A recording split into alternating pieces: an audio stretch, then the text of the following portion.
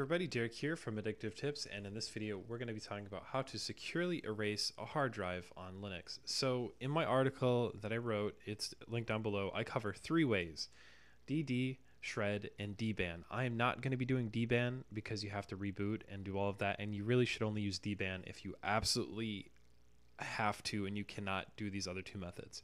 So we're going to be focusing on just DD and uh, shred because I can do that right in the terminal right here and I can show you the process. With with dban I can do it but it's pretty much an automated process and there is really no instructions needed. But you can find all the information uh, and uh, check it out in the description. Anyways to to start off we need to figure out and we're going to be doing the DD version first. If you are trying to clear the main hard drive and what I mean by that is this is the hard drive that Mint is running off of in this VM. So if you want to clear this drive, you're going to need to run uh, a Linux distribution off of a USB flash drive because you cannot clear the hard drive that you're running off of. So keep that in mind. That being said, I'm going to be deleting the de the dev the dev SDB drive, and this one isn't loaded up. It's it's not being used on anything, so I can just show the process.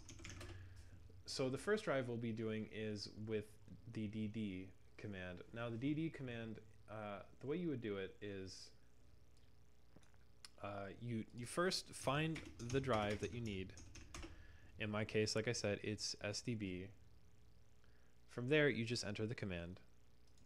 All right, so it's time to explain what this command actually means. So it's going to be using urandom as the device for flashing over top of my SDB drive it is important that you do not do SDB1 or let's say you were doing SDA or SDA1 or SDA5 or whatever. You need to do SDB as the block device so that it does the entire partition table and everything on it. If you just do one, yes, it will delete that one drive partition, but it's not going to be as useful. And of course, BS equals 10M means the block size is 10 megabytes we press the enter key and we let it go. It's blinking right now, and that means that DD is clearing our partition. And when we can write again, that's when we know it's done. When DD finishes, you can see that we no longer have a dev SDB1. We just have the SDB hard drive, and we can create a new file system. Uh, but the next step is uh, to just create a new hard drive partition layout. So if you want to do that, open up your partition editor of choice and uh, select the drive, go to new partition table, new partition, and uh, your drive is as good as new. The stuff that we deleted is now gone. The hard drive is securely erased and you have a new hard drive partition. So the next one we're going to be focusing on is Shred. Shred works a little bit in the same way, except it doesn't flash over urandom. It just uses its own method. So uh, let's go ahead and do that. So once again, you're going to need to use the lsblk command to view the hard drive. So we've got our new partition that we just created and it's dev sdb1. So to use shred, we're going to make sure that we need we're going to make sure that we have shred installed and we do. So from there, we just do sudo shred vfz dev sdb.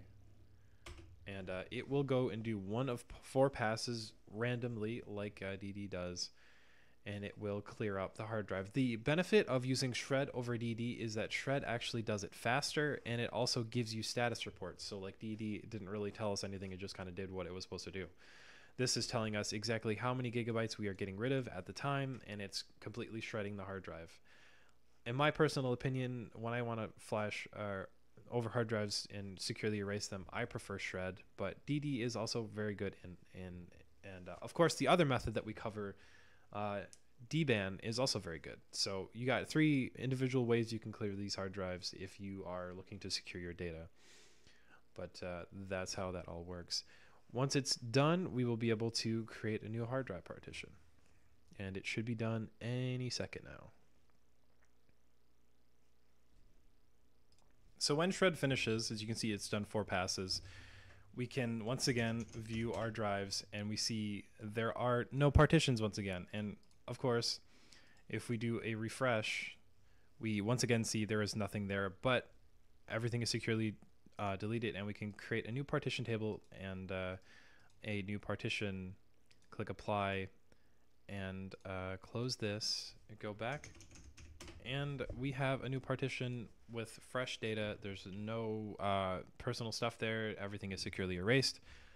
Uh, so, guys, that's just two ways you can go through and delete your hard drive. Uh, I mentioned dban, and that is the third way. And uh, I'm not going to show you guys how to do it because it's a live disk, but what I will do is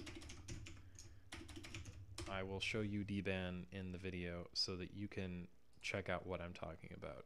So we cover this in the article, but you can run this and it will automatically delete any hard drive connected to your PC. So if you are trying to clear all of data off of it before you sell a computer or something, uh, you can go ahead and check that out. It works on pretty much everything.